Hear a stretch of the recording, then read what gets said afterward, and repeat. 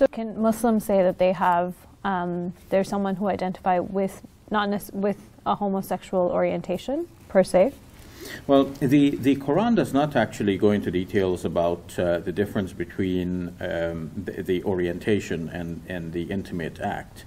Um, and so to, to differentiate between the two, uh, we, we must draw on modern views, especially scientific uh, views, and other discussions about the origins of homosexual orientation.